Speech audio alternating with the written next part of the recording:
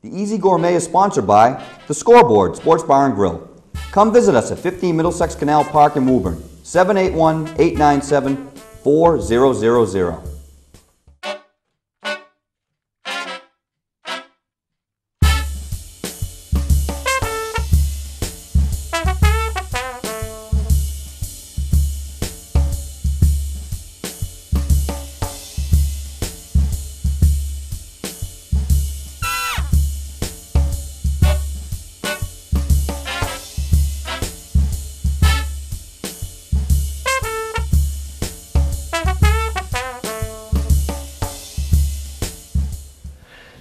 everybody and welcome back to the Easy Gourmet. I'm your host and chef Vinnie Ferlisi.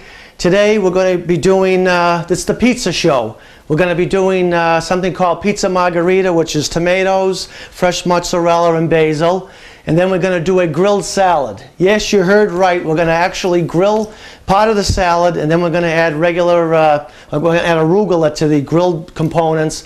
And there's going to be some goat cheese in there. It's going to be wonderful. And then for dessert, we're getting back to the pizza theme again. We're going to have some pizza dough that's fried and we're going to coat that with a little bit of um, powdered sugar and some honey. So why don't we get started? The first thing we want to do is we want to have a uh, pizza stone in our oven on the highest rack. As you can see that on the highest rack and I have it on 550. The highest that this stove goes is 550. I wish it would go a little bit higher but 550 or higher, the highest that setting that it can go. And you want to preheat that for at least a half hour. So that's been on right now for maybe a little over a half hour. And uh, since this is the Easy Gourmet, we're going to be using ready-made dough today. So what we want to do is we want to get our dough, which this is uh, supermarket dough, and it's about a pound. This will make about a 12-inch pizza. You can always cut it in half and make a couple of smaller ones, but the stone we're using today is about 12 inches, so we're going to make a 12-inch pizza. So what we want to do is we need a lot of flour for this so things don't stick. So flour up a board or flour up your pastry marble, whatever you happen to have handy, even on top of formica is fine. And just start pressing it out with your fingers. What I like to do, this I just took this out of the refrigerator. I like to work with cold dough. It's easier to work with and easier to stretch out because the gluten in the flour is not binding. Once you start to work this, you'll feel it start to pull back. That means you're activating the gluten in the flour. So what we want to do is we want to just kind of get that get that out to about a foot or so and don't be afraid. I'm not going to toss it up in the air, but it's all fingertips. Just make sure both sides are floured. You can use a rolling pin for this if you'd like, but I'm going to go all natural here and just use my fingers. And I do have a ruler here to measure when it's close to, uh, you can turn it over and work it again. Just work Work from the inside out, pushing all that thick dough to the outside to make the circumference of the pizza dough to at least about, like I said, you want to go 12 inches. This happens to be a 12 inch stone. If you're using a smaller stone, you may want to remove some of this dough because you won't, your crust won't be as crispy. So you may want to remove, this is a pound, you may want to remove about a quarter of it if your stone is smaller. Then again, as I said, you can make uh, two smaller pizzas.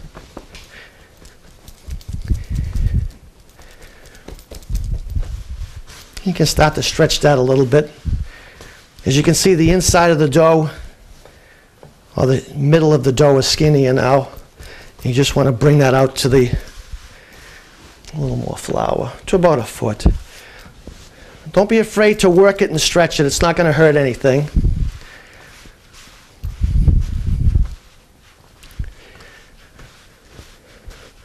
And just get your ruler to get a rough idea. That's about a foot. Then create a nice edge. Put one hand on your board and just use your finger and spin the pizza and you get a nice edge.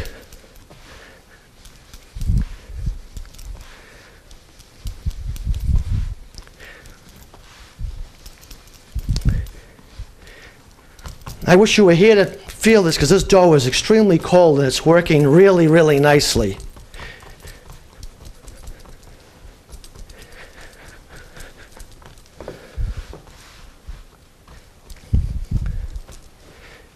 And that's all you have to do. Just check it a couple more time. That's about a foot. And I have my trusty pizza board. And what you want to do is you need a little bit of cornmeal on that so that way your dough will slide off easily. Just a little bit of cornmeal. That's kind of like ball bearings. They're very, very small, little round pieces of cornmeal, and that pizza will slide off to the stone, off the stone, onto the stone, very easy. Okay. We're just going to put that aside for now. We're going to make up a little bit of topping for that. So what we want to do first is get our pan heated up. We're going to make a quick sauce. We're going to use some fresh tomatoes. Put that on medium. And for about a 12 inch pizza, you probably want five to six tomatoes. Plum tomatoes are good. And just slice those in about quarter, quarter, quarter inch pieces. Get rid of the ends. They don't look as nice. That doesn't look that great. Just, uh, these have been washed already. I'm going to leave the skins on. Of course, you can use tomato sauce. You can use your favorite sauce. Use whatever you like. But I'm going to just show you quickly how to, how to make a, uh, just a quick, a quick uh, kind of sauce that only takes about five minutes or so.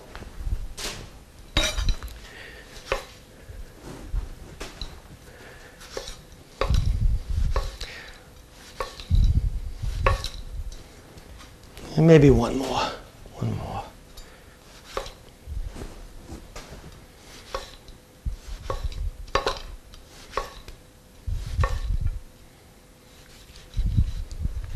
Get rid of the bottoms. Put those off to the side. We need a couple, about a clove of garlic.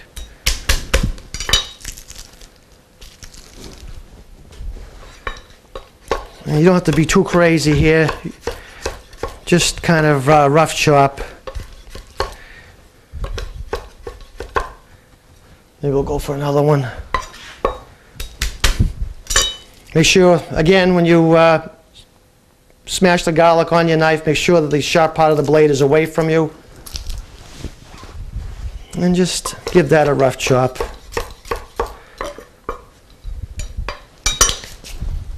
A little bit of oil in your pan. Should be preheated by now. About, uh, just till the bottom is lightly covered. Probably talking about two or three tablespoons. This is just a light olive oil. And put your garlic in. Just sweat that a little bit to get some of the oils out of the garlic into the oil. Be careful that your pan isn't too hot or the garlic's going to burn. And toss your tomatoes in.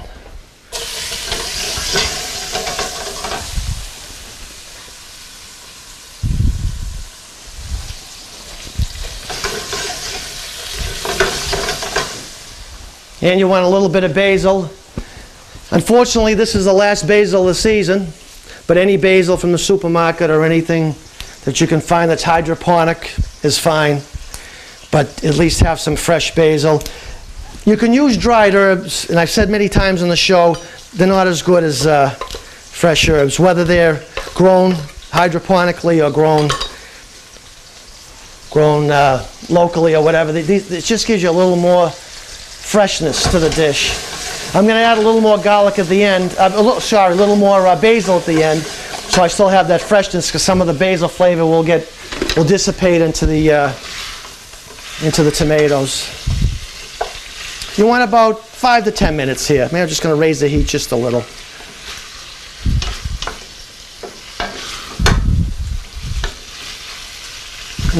And once you see these start to break down is when you want to take these off. So get a single layer in your pan. See how that's just one layer? They're not all on top of each other. And just kind of let those cook. And we'll be turning those in a minute or so. So like I said, five to 10 minutes should be enough. So as I said, five to 10 minutes on this. A little bit of salt, kosher salt. Just eyeball it. A little bit of fresh black pepper.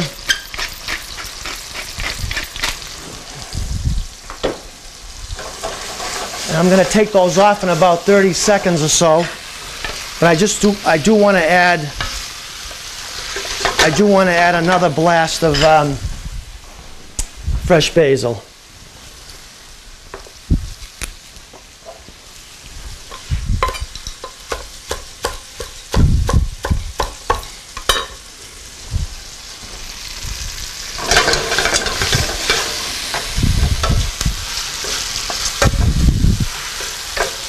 I think that's it. That was it. How long did that take? That was about that was about five minutes. Okay, now we're going to dress our pizza. Just let me take care of the board. Okay, we have our pizza ready here to go.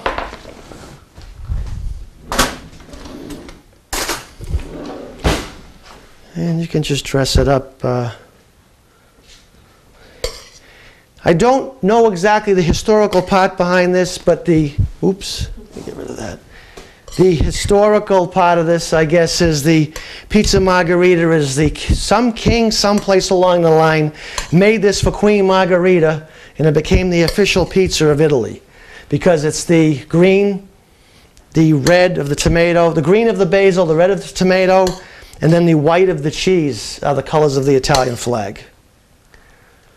But someone's going to have to look that up on Wiki because I'm not exactly sure if that's the real story. I'll tell you, this smells really, really good.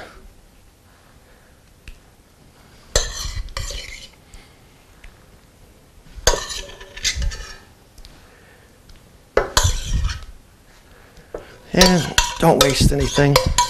There's a little bit of sauce in here. Just put that all around.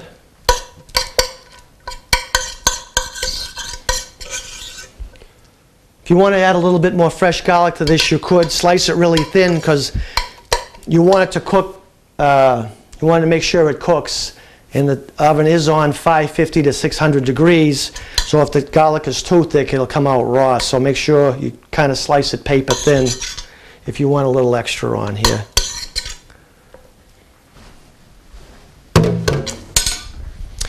Um, I'm going to use, for this particular recipe, I'm going to use uh, white mozzarella. I like this. I think it melts really good. It's very creamy. If you want to use the regular mozzarella, the hard mozzarella, I recommend that you uh, don't use the uh, already pre-sliced mozzarella. Use the mozzarella that's in a, it's in a ball like this. Or in a chunk and grate that on a cheese grater. Some of the uh, pre-grated cheeses have uh, additives to them to prevent caking, and, and the, to me the cheese doesn't melt as good. So uh, um, that's just a suggestion, but I, I do like the uh, white mozzarella. I think it's, I think it, like I say, it melts really well, and I think it's much creamier, and I think it's great on a pizza. And this, this one already happens to be pre-sliced. So you can just put those break those up.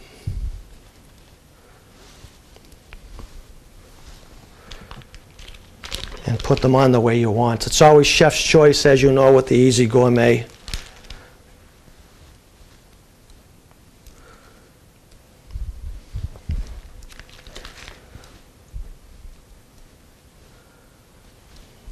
And you don't want to like go too, too crazy with cheese. This package is about a pound or uh, 12 ounces. I'm probably going to use half.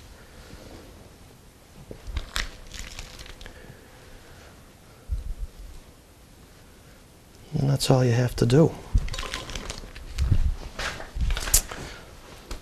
I'm going to finish it off with a little uh, Parmesan cheese. I think I'm going to add a little bit more black pepper because it's my pizza. And I'm going to add just a little bit of olive oil to finish it off. And we're ready to go. We are ready to go.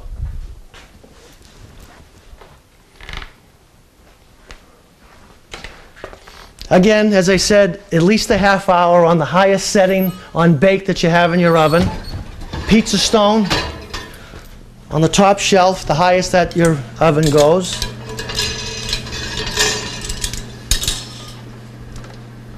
And just slip that right on. As you can see, it slips right off with the... Make sure you put that back into the middle. And we should be ready in about 8 to 10 minutes. Our next course is going to be a grilled salad. I'm going to grill that on the grill, which I already have preheated out in my deck. But you can use a grill pan for this recipe, or you could just do it under the broiler. So what we want to do is, I already have two hearts of romaine lettuce uh, washed and dried and cut in half, one Belgian endive rinsed and cut in half, um, one bulb of radicchio, which is a kind of a looks like red cabbage, but cabbage, but it's kind of a bitter lettuce, not extremely bitter, but has a little bit of a bite to it. And I'm just going to cut that in half. I'm going to grill that also.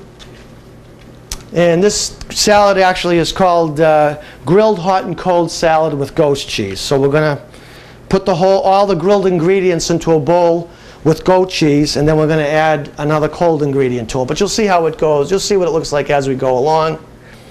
I have a red and, uh, uh, red and orange pepper. You can use green if you'd like, or you can uh, just use all green or all red or all orange, whatever you like. I like the colored peppers. They're, they're much sweeter than the green ones, so I'm going to leave the, I do have a few green, but I'm going to leave the green out today. So I just want to take the top of the pepper off remove the uh, inside and just kind of quarter that.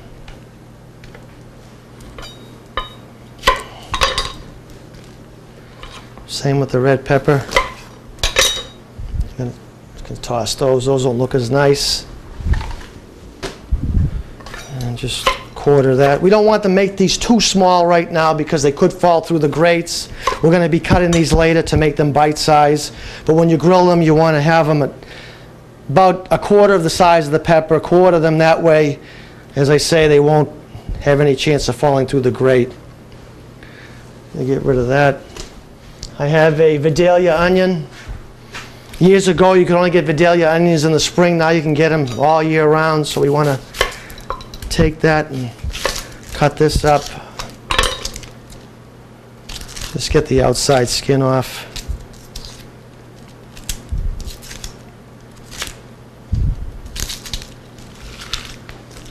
Get rid of those. And be careful when you do this. Always maybe when you're going to uh, cut something that's round, get it, lay it on a flat surface like that so it's a little easier. And just make a couple of circles. And that's all you got to do. Now we're just going to put a little bit of oil in all this, a little bit of light olive oil, or vegetable oil, whatever you like to use. We're going to make a quick dressing with olive oil, but you don't have to necessarily grill this with olive oil. You can just use any oil you want. But I think olive, when it gets a little burnt on the grill, it actually has a, a very, very nice taste. The flavors are kind of released more on them. And just do that.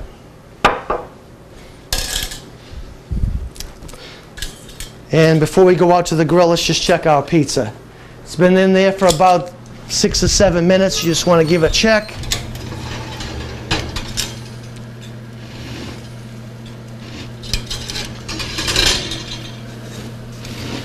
I think I'm going to leave it in just for one more minute, just to see if I can get this a little darker.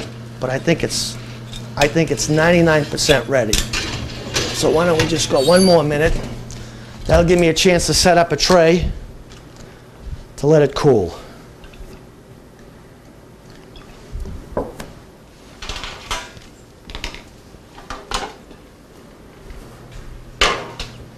I like to cool it on a rack. That way the it cools off uh, all at the same rate. If you lay it on a cutting board or on a flat surface, the steam will come back into the pizza and soften the crust. So a cookie, a cookie rack is fine or anything anything that you have laying around is good.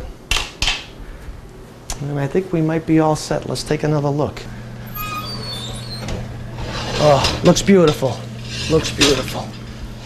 So just slip that back onto your board.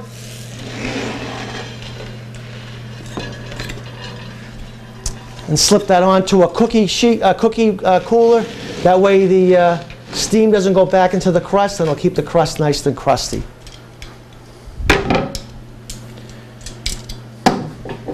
Slip that back in. Be sure you let that cool down before you take it out of your oven because it's 500 degrees. And I like to just finish this off with a little bit of extra basil.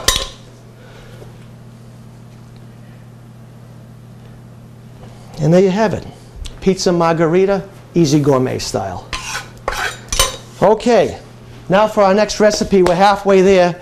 We have our radicchio, we have our Vidalia onions, we have our Bel Belgian endive, our red pepper, our romaine lettuce, and our yellow pepper, orange pepper. So why don't we go out to the grill, grill these, we'll come back, and I'll show you how to put the salad together. Okay, so we have all our vegetables. Our grill is preheated to high. And I just want to make sure all the debris is off.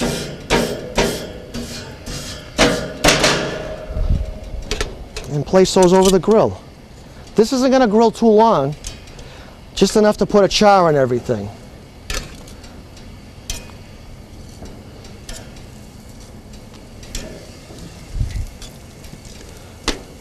Of course, some things, the peppers will take a little longer than the romaine lettuce.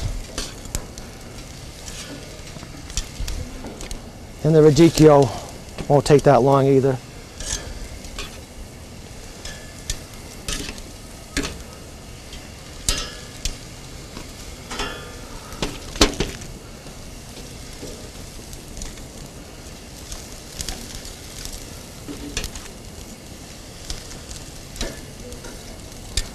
We're going to grill these with the hood up that way. Uh, nothing will have a chance of burning.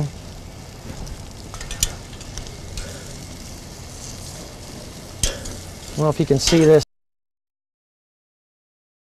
Grill marks have started already. Just kind of want to rotate those a little.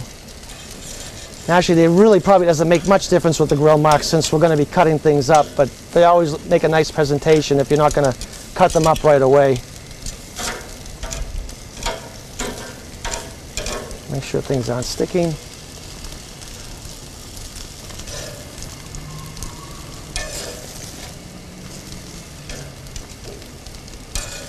And you just want to keep your eye on this to make sure all you're trying to do is get a little burn on it, a little smokiness to it. You don't want to uh, completely wilt it to, uh, you want, still want a little crunch left. And we'll just let those cook. As I said before in the kitchen, this can be done under the broiler. Uh, I've done it under the broiler on a rainy day. It can be done in a grill pan, the grill pan that has the little bumps in it. You might have to do that in batches because a lot of the grill pans aren't uh, that large unless you have one of those rectangular uh, griddles that has uh, uh that has uh, grates uh, that has bumps on them. You can you can use that also. So this uh, you don't always have to do it on the grill, but the grill gives it a nice smoky char taste that you can't get by broiling or uh, using the grill pan. So that's why I like to do this if I have a chance.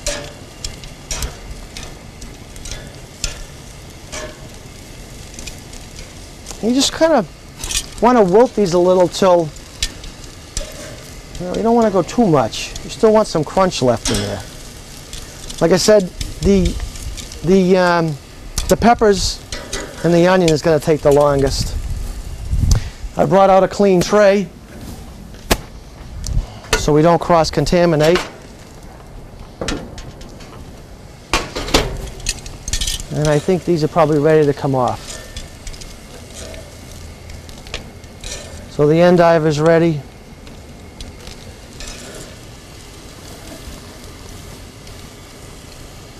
The romaine is ready.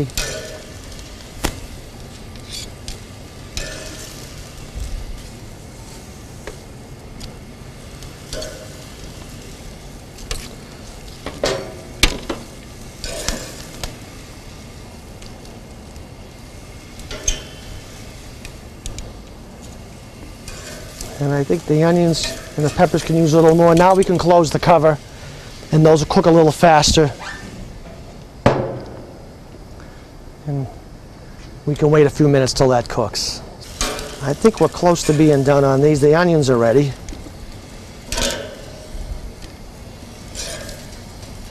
And I think I'm going, I'm going to uh, go another five minutes on the uh, peppers.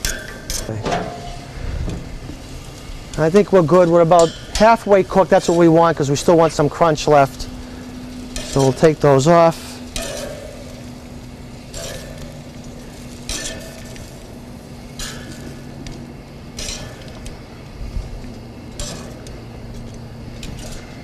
And we are ready to assemble our salad.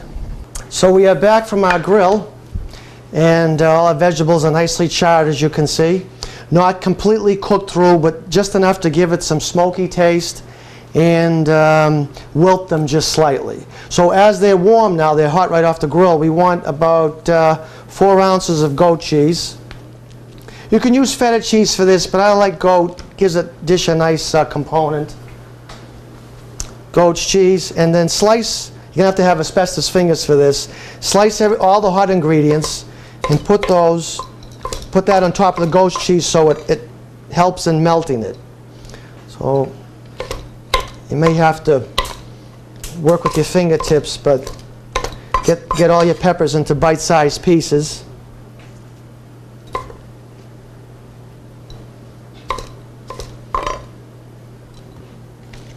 And your onions.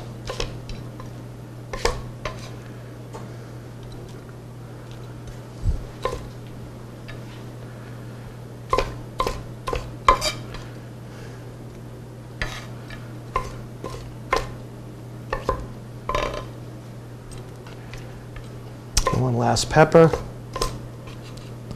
Get those in there. Can double stack these if you want to be a little daring. Make sure your knife is sharp. And take the root uh, part off the uh, romaine and just cut those and put those in. You can eat the root, there's nothing wrong with it, it's just a little sour or kind of bitter. I guess bitter is the right, the right word. Just toss those in. A little bit of rad- radicchio. A little bit of Belgian endive. There's a little root on the endive that I previously had cut off, but you can trim more off if you'd like. But I always leave the root on when I grill it so it doesn't, it's a little easier to handle when you get it off the grill.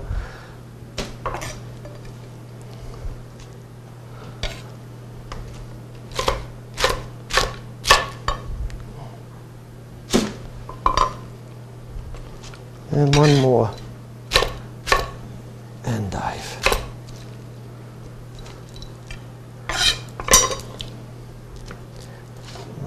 That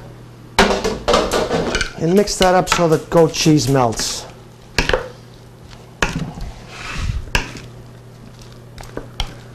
If you want to use a little less goat cheese, you can use a little less. You want to use a little more, you can use a little more. As I said, you could use feta cheese, blue cheese, gorgonzola, something that melts, that has body to it, that has a little bit of earthiness to it. That's the kind of cheese you want for this particular recipe. But goat cheese, as you can see, is like very creamy as it melts into the components here. And how you want to finish this off, I have some washed and dried baby arugula.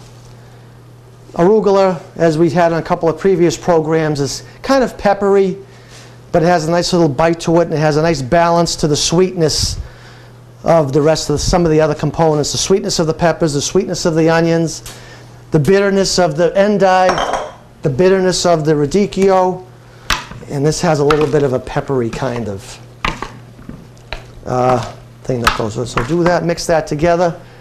Now just a simple dressing, a little pepper. It's not really a dressing, it's just another coating. A little more salt. Actually, we didn't salt it at all, so put, put some salt in, as much as you'd like. A little bit of olive oil. And just mix that. And that's it. Goat cheese, grilled salad with the, with the arugula. Our last recipe today is going to be some uh, pizza fried dough. That's going to be our dessert uh, today. What we want to do first is get a, uh, a wide-bodied pan so we can fit a bunch of them in there, about medium high. And once that heats up, we're going to be putting vegetable oil in there, and we're going to fry. We're going to fry some dough. Basically, we're going to fry some dough. So we're going to get another pizza dough that we have here. And this time we, we kind of want our dough to be about a quarter of an inch thick. So we need a little bit of flour on our board or our marble stone, whatever you have available. We're going to use a rolling pin for this. It's much easier.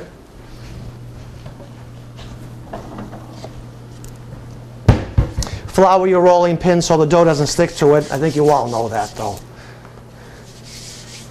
And you just kind of want to roll that out.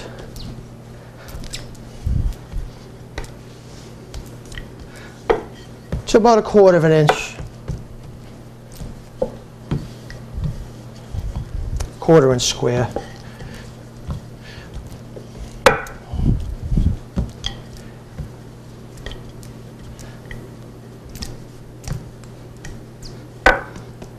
If you don't know what a quarter inch is, your trusty plastic ruler, and that's about a quarter of an inch, maybe just a little bit more.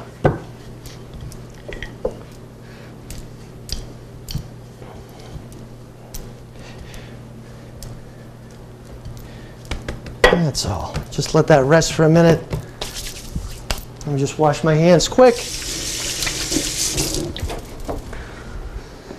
So what we want to do is we want to get our pan hot, like I said, about medium high.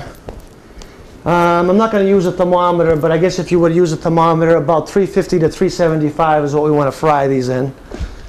And I have uh, some vegetable oil. You can use vegetable canola. I think olive oil is a little too uh, heavy for this, even the light olive oil. You can't take that high a heat that long, so I think you're better off with a uh, canola or a vegetable. And get about a half inch of oil in here, maybe a little more. Depends how big your pot is. You can use a smaller pot, but I wanted to do a bunch of them at once.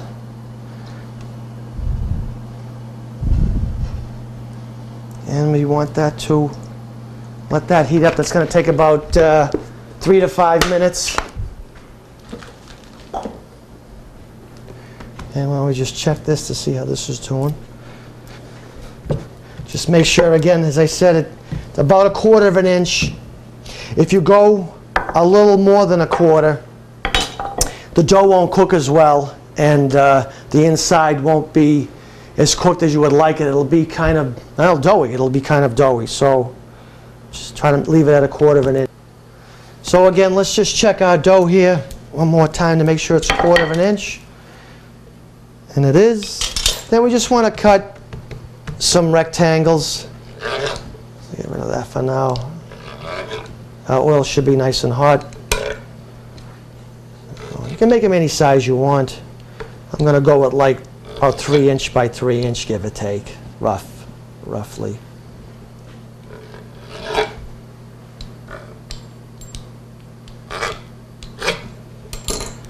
And all you want to do is just drop these into the hot oil. Don't overcrowd the pan. If you got a pan like this, you could probably go with six to eight.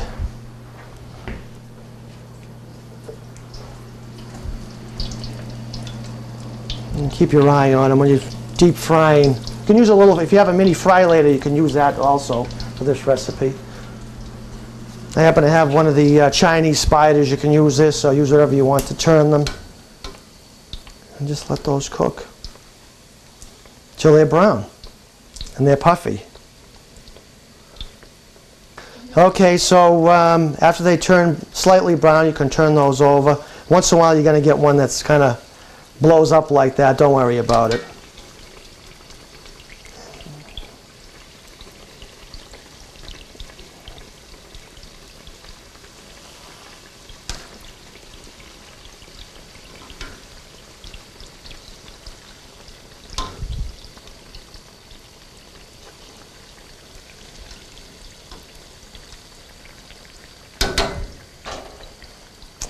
Want a couple of minutes on each side. On this side also.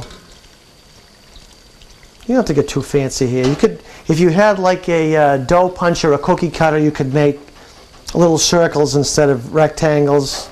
I mean, you can. This is kind of. You can get a little creative with this if you want, but we're not going to get too creative today. Just enough that I can show all you viewers uh, what you can do with leftover pizza dough or just pizza dough in general.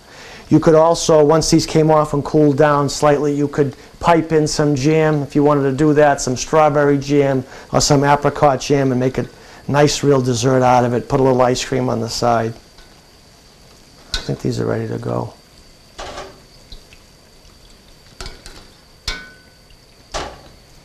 As you can see, I have a, another cookie, cookie rack here to let the excess oil drip off.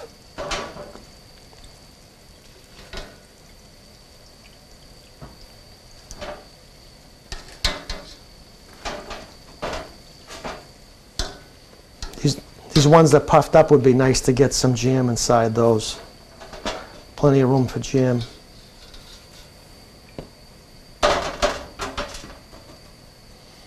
And I think that's all we're going to do for now, so I'll just shut the heat down. All you want to do is while they're hot,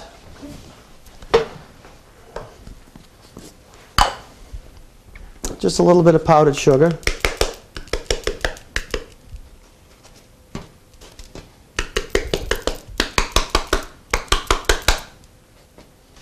Or if you really wanted to get a little intense, you could just put a little bit of honey on top.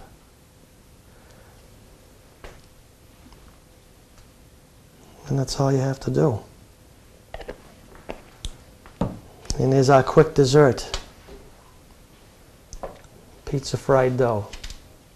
So, to recap today, we had the margherita pizza, which we made a little bit of a quick sauce with uh, tomatoes, plum tomatoes, uh, a little bit of fresh basil and some garlic. All we did was cook that for about five to eight minutes over medium to high heat just to soften the tomatoes. And we used uh, the white, uh, white mozzarella uh, that we use instead of the uh, shredded mozzarella. I love the white, it's much more creamier. And we, then we finished it off after it came out of the oven with some fresh basil. The grilled salad with uh, arugula and goat's cheese. Uh, we did that out in the grill today, and uh, I know you're going to really like this. And as I said, uh, just to reiterate, you can do it under the broiler, and or you can do it with a grill pan or a, or a grill uh, a griddle that has the bumps on it to give give it that uh, that little bit of a burn on it that gives it that nice smoky taste uh, after you get the salad together. And we just made a simple dressing of a little bit of oil, salt and pepper. You could put a little balsamic vinegar on that if you'd like. And then we just fried up a little bit of uh, leftover dough um, to uh, finish the whole uh, meal off. And um, this pizza, uh, it really goes great with a uh, like a Zinfandel or or a cab because it's uh, it's very hearty. And I happen to have one here today that that I really like that goes with this. It's Bogle's Phantom. It's a uh, it's an old vine from uh, Petite Sirah from California, and I think it go it pairs up really well with this pizza and with the salad, with the grilled salad. And I guess that's it for today's show. I guess that's it for today's show. I hope you uh, enjoy will enjoy watching it as much as I enjoyed cooking these uh, for you today. Um, again, if uh, I haven't really checked the website, but there is a website for the show. It's uh, WPMC Easy Gourmet at gmail.com. I will get around to doing that. I've just been so busy, but I will get around to doing that. And if any of the viewers have any questions or any comments, I'll be glad to uh, answer those. And uh, as usual, I'd like to thank uh, the scoreboard uh, for uh, making uh, the show possible today. So without further delay, I'd just like to wish everybody a good day and happy cooking. The Easy Gourmet is sponsored by The Scoreboard Sports Bar and Grill. Come visit us at 15 Middlesex Canal Park in Woburn, 781 897 4000.